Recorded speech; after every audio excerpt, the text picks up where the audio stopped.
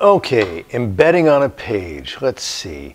Go to the video, right click, copy embed code, back to my page, switch to HTML, paste it in. That's simple. Let's add it to my home page. Ah!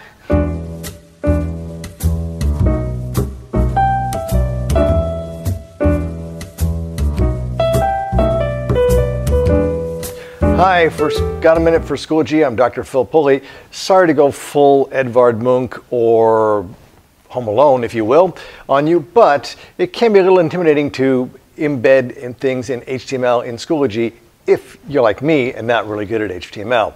So again, that was pretty simple to go over here, right click, get my embed code. You can get embed codes for lots of things. And I come over here and I switch to HTML and I pasted that in. Okay. Going back to the visual, you can see this iframe that shows me that is going to be there.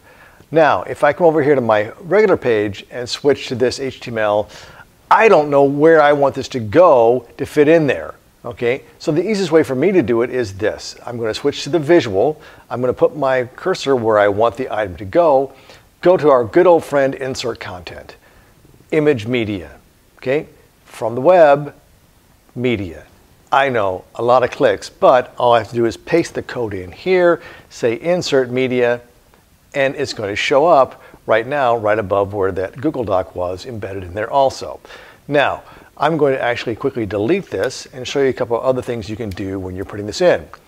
Going back in again to show you the steps, it's insert content, image media, from the web, media, paste. Some things are in there. It allows full screen. I can tell what that says. It's an iframe. I know what that is. If I come over here though, I'm gonna see my height and width are huge. I'm gonna take this down to 720 by 405 because I've memorized those and find that when I insert that media now, this box is much smaller, but a good size I found for my students and their devices. If I don't want to do it there, I can also click on the iframe box once I have it in there. This X makes it go away, not that one. This little box here, I can now change those dimensions and it also has a constrained dimension, so if I went to 720, it's going to select 405 to make it fit that proper ratio. For Got a Minute for Schoology, embedding in Schoology pages and elsewhere, I'm Dr. Phil Pulley.